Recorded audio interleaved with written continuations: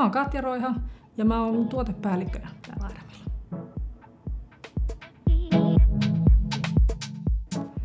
Vastuullisuus näkyy mun työssä oikeastaan ihan päivittäin. Se on osa tuotesuunnittelua, tuotekehitystä ja myöskin ihan päivittäisissä keskusteluissa muiden kanssa tulee myös nämä vastuullisuusasiat esille.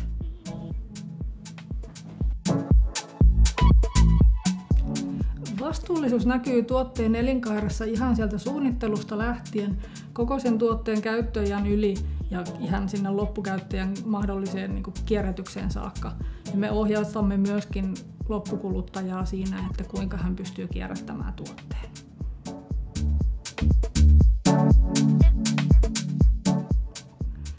Energiatehokkuus on tärkeää, koska tuotteen elinkaaren aikaista päästöistä suurin osa tulee käytön ajalla. Energiatehokkailla tuotteilla, kuten tämä A-energialuokan lamppu, pystymme auttamaan käyttäjää vähentämään omaa energiankulutustaan.